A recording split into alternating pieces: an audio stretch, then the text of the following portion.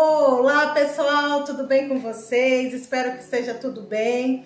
Estamos aqui de volta, sejam bem-vindos ao nosso canal, a mais um vídeo. E eu quero agradecer a todos que estão se inscrevendo no canal, deixando seu, o seu joinha. É, chegamos em mil inscritos. Muito obrigada a todos, estou muito feliz, eu agradeço a todos. E pessoal, continue se inscrevendo, continue se chegando eu estou aqui toda semana trazendo uma receita nova, uma dica, um lugar para vocês conhecerem diferente. E hoje, a receita de hoje eu vou ensinar vocês a fazer óleo de coco. Por quê, pessoal? O óleo de coco é bom para um monte de coisa, além de fazer comida, né? É muito bom. Então eu quero ensinar para vocês de uma maneira simples, fácil e que vocês possam economizar também, porque tá muito caro o óleo do coco. Então, vem comigo!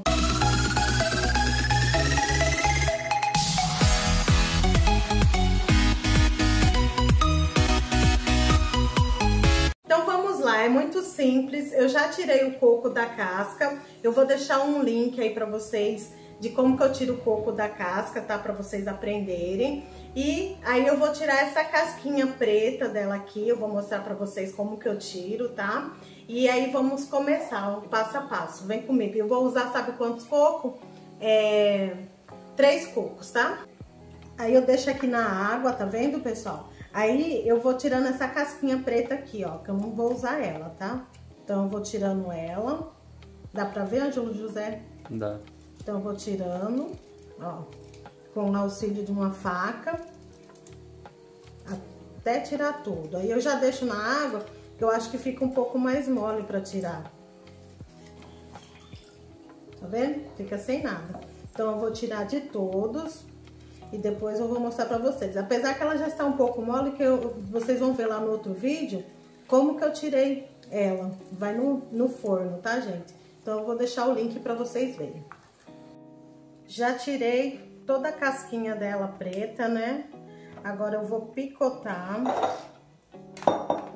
vou picotar tudinho aqui, ó. Mais ou menos desse tamanho mesmo, ó.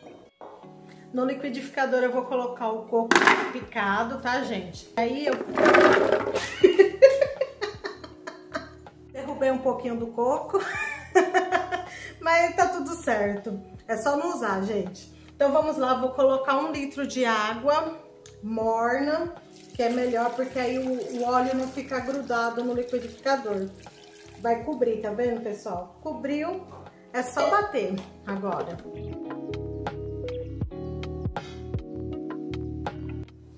Coloquei mais um pouco de água, tá? Porque tava forçando o liquidificador. Mas deu tudo certo. Então, vou pegar um pano de prato bem limpinho, tá, gente? Aí eu vou pegar o coco aqui, ó. E aí, o que, que eu vou fazer? Eu vou separar o líquido do coco, que ficou bem triturado, tá vendo? Então, vou pôr aqui, ó. E vou separar isso aqui. Então, com cuidado para não cair, né? Eu vou espremer bem. Aqui, pegar as pontinhas e vamos espremer.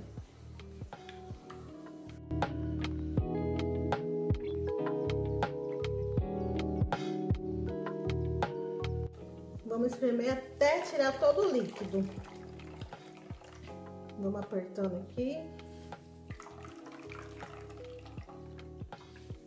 Tirou todo o líquido. Olha o que, que a gente vai fazer. Deixar aqui de reserva. Aí esse coco ralado, eu vou deixar ele aqui, ó, que depois dá pra usar com outras coisas, tá? Então, vou deixar ele aqui, vou colocar no saquinho e vou congelar esse coco ralado. Tá aqui, ó, vou colocar de lado. Aí eu vou pegar uma garrafa PET, vou cortar ela assim, vou fazer desse jeito e vou pegar esse líquido aqui e vou colocar aqui dentro. Devagar. Caguei.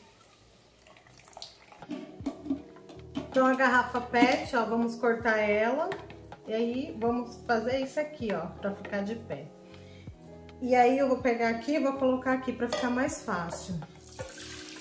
Vai derramar um pouquinho, mas não tem problema, tá, gente?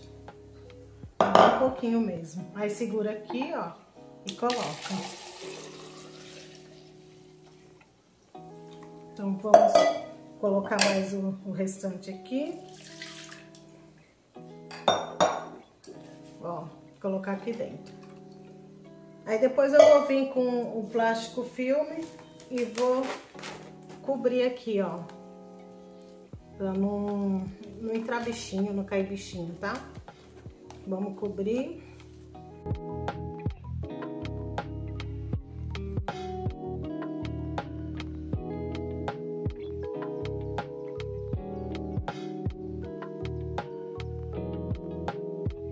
Ó, já tá bem protegido. O que que eu vou fazer? Eu vou achar um cantinho aqui na cozinha e vou deixar descansando. Aí eu vou, aí eu volto amanhã para mostrar, tá? Vou deixar um dia descansando. Ó, gente, eu vim mostrar para vocês como que fica. Dá para ver, Ângelo José? Dá. Ó, separa, forma uma nata aqui em cima. Então a gente deixa um dia, sabe, fermentando, aí vai formar essa nata.